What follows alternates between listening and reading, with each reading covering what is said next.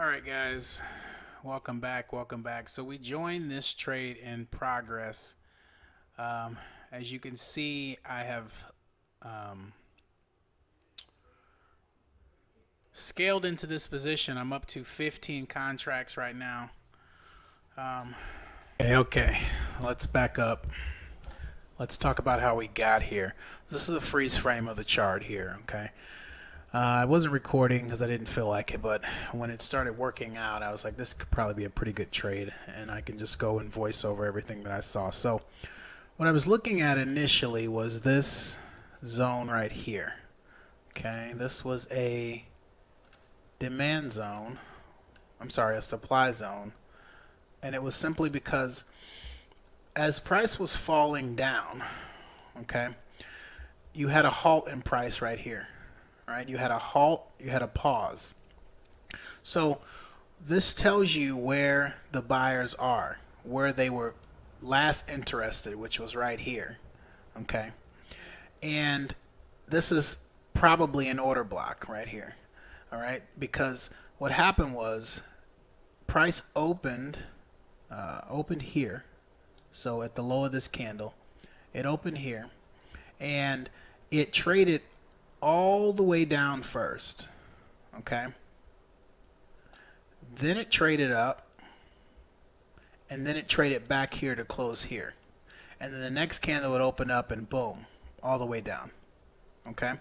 So for a moment here, the, the buyers were strong enough to bring the price all the way from down here to up here because at one point this candle was solid green right, this candle was a solid green candle. All right. But then the bears came back and said, no, still got more inventory. Let's take it down. Okay. So as we are pushing up, pushing up, pushing up to this area, this was an area of interest for me. It came up here before and it rejected the halfway point. We know we talked about the 50% retracement point, right? So this order block, it got about 50% into it, and then it sold off. And as you can see here, I started purchasing in this area. Let me see if I can get in on it here. Oh, come on. It's not going to let me zoom in properly. Okay, so anyway, so I started purchasing here. That's what these arrows are. These are my executions, okay? I started selling on this candle. So on this rejection, and all my stop was up here. Okay, so I was really from here to here. And so this pushed up a little bit and then it started to sell off. I sold again here. Okay, pushed all the way down here. I bought back two. I took some profit on the two that I had bought here. And then we pushed back up again. Okay, when we pushed back up again, we cleared this high. Okay, we cleared this high. And they did that so that anyone that had sold here, which I did, they could take them out of this trade before they went lower. Okay? But they still were unable to break through this supply zone because this zone is from here to here. It's from wick to wick. Okay? So they were not able to poke above this, which I was expecting them to do, and I wanted to add on here. But because they didn't, and because volume was picking up, look at this here. So you had this spread right here go to this candle. All right. At one point, let me get rid of some of this. Hold on. Okay. At one point, this candle was all green. Okay, it was a full green candle. Then the the sellers came back in and pushed it down to close a little bit higher than this one, but basically at its low. Okay. Volume was a little bit lower which showed that the Bulls they participated heavily in this candle. But when it came to this candle, they gave up toward the end of it because this was able to be pushed down from its high to the low. All right, so I'm already looking for volume to confirm this next move. The next move happens, volume is bigger, okay, and the spread is huge. Okay, the spread is it's bigger, it's bigger than this spread. You just have to trust me. Okay, but the volume is not bigger than the spread. Okay, so to me, that's not harmony for the Bulls because yes, you had a bigger spread. Okay, but you didn't have a lot of volume, which means you didn't have to overcome any serious selling until the end of this candle. All right. So when this fell away again, as you can see here, I'm selling again. Selling, selling, selling. Okay, I sold three here. Okay. Pop back up a little bit. I'm selling again. Okay. And then this next candle opens and we get this huge drive down. So at one point this candle was solid red all the way down here. Okay. Check out the volume that this candle had right here. Okay. You see it right there? This green volume. It was heavier. It was heavier than the last two. Okay. Here, here. You see how it's bigger than the last two? And had a long rejection wick to the downside. So this candle opened here. It was pushed all the way down here. It was pushed all the way up here. At one point, it was a little tiny green candle above here, but it was never able to get over the high. Okay? Never able to get over the high. And because I had profits from these orders, I could actually withstand a move up here. Okay? But when I saw this breakdown here, when I saw the bulls slip here and lose this, break this trend line, this retail trend line, okay? We've had a bounce here, a bounce here, a bounce here, broke here, came down. Right, so when I saw them break that trend line, I knew that they were coming for the liquidity here, liquidity here, and I've already drawn the lines. You see that? So I knew they were coming for these lines, for these levels here. All right, so I went ahead and entered the rest of my contracts right here eh, on this candle here, and that left my average right here. So bought a little bit up here, and some more in here and then bought the bulk of it right here. So that was where we were.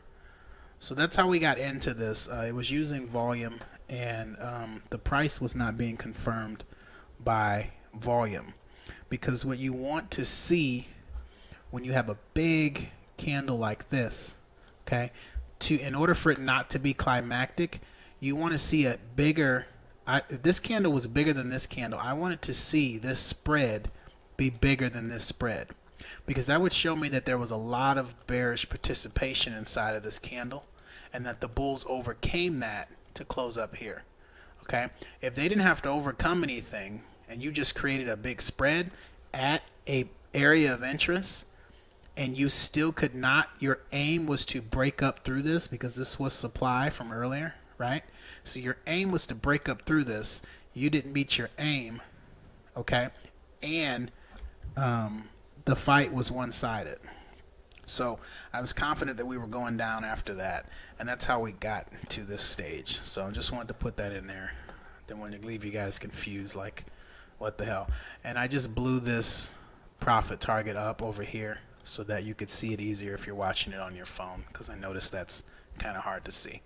All right. My main account here. And I thought that this had potential to really be a, a pretty good breakdown. What you guys can't see is a uh, screen. Uh, my other monitor, I'm showing the ticks and the ad decline and the vol speed and you know all the internals that I'm making videos about, and they're all acting very bearish. So while this price is is pretending to tick up here, um, and it pulled down to this low here. Um, as it's pretending to tick up though, there really wasn't much that it could do to convince me that it was going up. So I was happy with the position size. I would have liked to have been a little bit heavier, but um, for my account, 15 is the max I'll trade. So let's just speed this up and see how it plays out.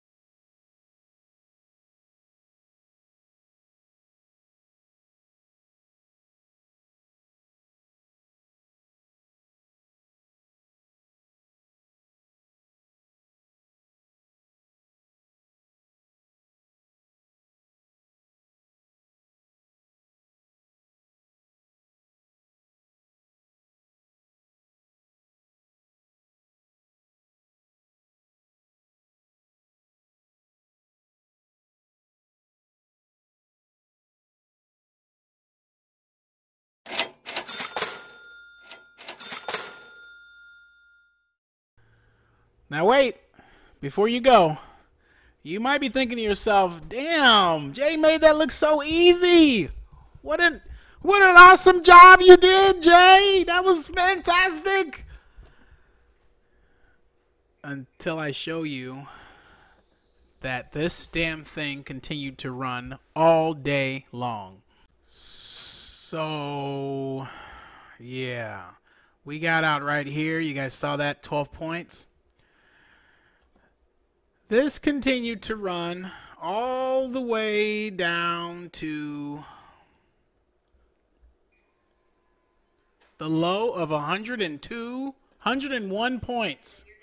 101 points. And we got 12. We got 12. Oh my God. How did we get 12? 101 points. So I could be mad about this, guys. I could be really pissed at myself. But where was I going to get out? I set my target. My target was that this thing was going to run the lows here, right? This was the last yellow line. So when I got here, when I got to this area, I got out of the trade, right? All of this and all of this wasn't in my game plan, was not in my head that it was going to continue to do this. So what would have happened? I could have held on here. I could have kept a runner. You're probably asking why did he sell all 15? I could have gotten out here with half, let that drop away. But where, where, what, what, what was my plan? What is your plan when you trade? Huh? Trade your plan. Plan your trade. Plan your trade. Trade your plan. My plan was to get out at these lows when it broke these lows. That's why I had a limit order there. So even if it wicked it and shot back up, I was already out of the trade. Didn't have a plan for this. Therefore, I didn't trade it. Yes, I left a lot of money on the table. I could be upset about that, or I could be happy with $9,902. So I just wanted to show you guys that. All right, thanks for watching. If you watch to the end, if you give me a thumbs up and a like, I guess those are the same thing. I appreciate it. See you in the next one. Peace.